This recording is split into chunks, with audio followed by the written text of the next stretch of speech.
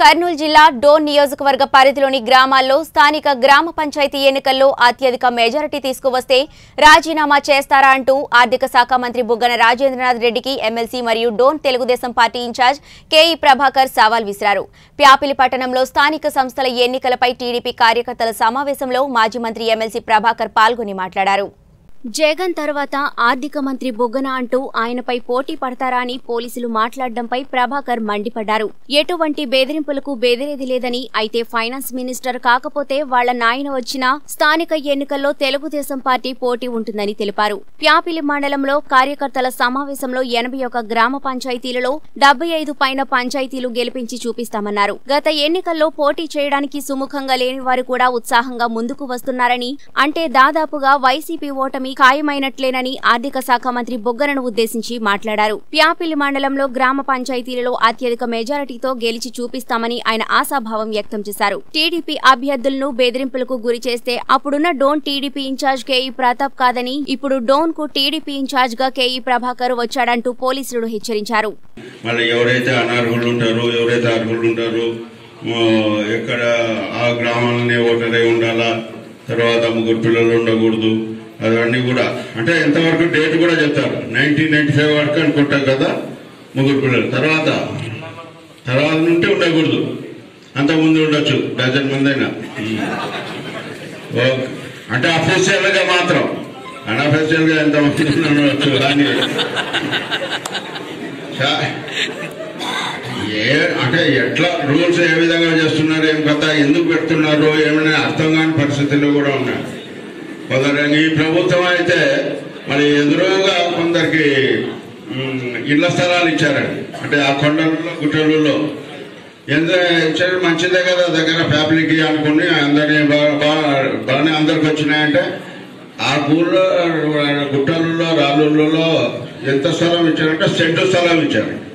Scent స్థలంలో ఎంత ఎంత ఇల్లు కట్టుకోవడానికి అవకాశం ఉంటుంది కొత్తగా పెళ్ళైన వాళ్ళు లేదా ఇద్దరు ముగ్గురు పిల్లలు ఉన్న వాళ్ళు మరి రాత్రిపూట పడుకోవాలంటే పిల్లలను బయట పెట్టి లోపల పడుకోవాల్సి వస్తుంది.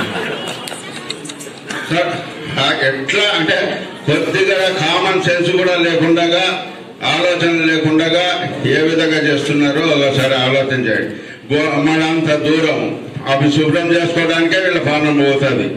అవన్నీ రాళ్ళు నీళ్ళు గుట్టలు తీసేయడానికి చాలా మరి కాలాతీతమవుతుంది ఖర్చుతో కూడిన పని.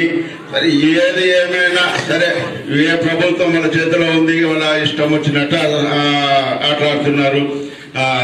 ఇసుక విధానం మీకు తెలిసినదే.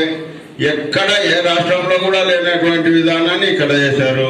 ఇంకా లిక్కర్ విధానం అయితే ఇంకా అది ఇంకా మనం చెప్పనక్కర్లేదు.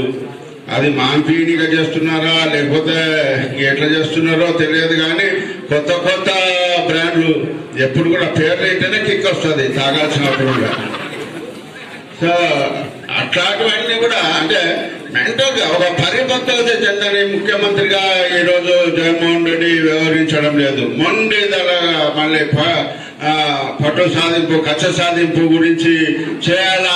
ఓ వస్తే ఇంకా ఏ విధంగా రాజ్యం అది రాజ్యాధికారం ఇస్తే ఏ విధంగా చేస్తాడో ఆ విధంగా చేయడానికి ప్రయత్నం అహంభావి.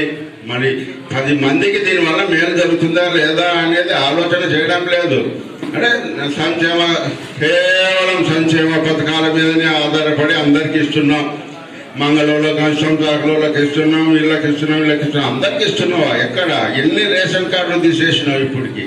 అవగాహన మన అవగాహన అయితే మళ్ళీ నాకు రేషన్ కార్డు అవన్నీ తీసేసినారు. ఎందుకు తీసినారంటే నీకు నాలుగు చక్రాల బండి ఉంది అని.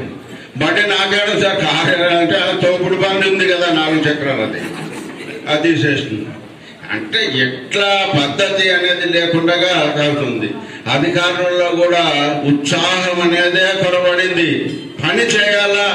చాలా ప్రజలకు ఉపయోగపడాలా? మేము మేము మాకు ఈ ఉద్యోగం వచ్చింది కాబట్టి మేము ప్రజలకు ఎంతో ఎంతో సహాయంగా ఉండాలని మరి చేసేటోళ్ళు కూడా నిరుత్సాహంగా ఏ రెండు సంవత్సరాలు ఒక్కబట్టండి ఈ గవర్నమెంట్ ఎందుకు రెండు సంవత్సరాలు కదా తర్వాత మీ గవర్నమెంట్ వస్తుంది కదా అనే స్థాయికి ప్రభుత్వ ఉద్యోగులే వచ్చినారు అంటే ఏ విధంగా ఈ ప్రభుత్వం ఉన్నారో ఒకసారి ఆలోచన చేయండి. ప్రభుత్వం అంటే ప్రభుత్వం ఏదైనా నిర్దేశించిన పనులని ఉత్సాహంతో ఉరుకలేస్తూ పని చేయాలా? ఆయన ఒకటి చెప్తే పది చేసి చూపి